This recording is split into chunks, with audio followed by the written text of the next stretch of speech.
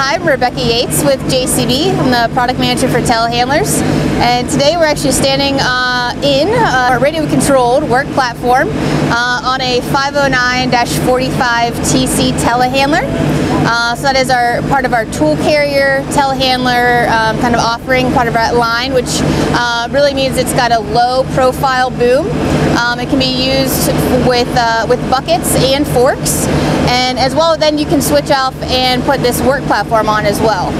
Um, this is one of the platforms that you can use um, in, from the platform or from the cab.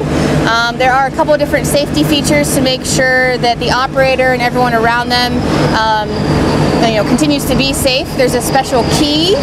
Um, there's also um, a way to, if something would happen, you can get down.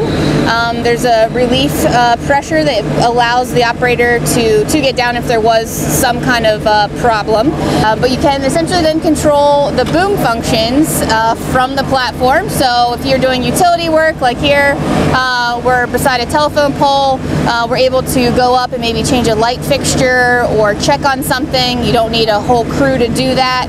Um, you can be more efficient and effective with your kind of employees um, and your equipment. So you've got one piece of equipment that can do multiple things and one operator now that can use that, um, you know, kind of while they're working during the day.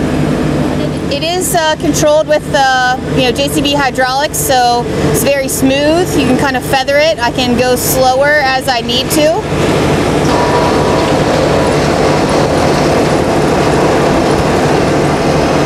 You have full boom function in the work platform.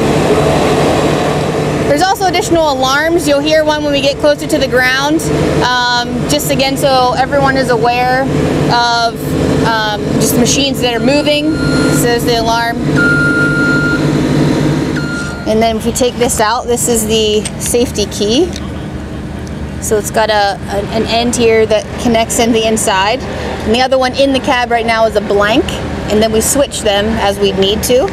If we wanted to use the machine from the cab, we'd switch it and put it in the cab. And you can take this out with you and you stick, there's a place for it in the cab as well.